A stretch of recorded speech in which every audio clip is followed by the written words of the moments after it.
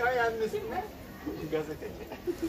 Bir ayağının üstüne zorluyorsun. Ondan sonra da bir şey yap.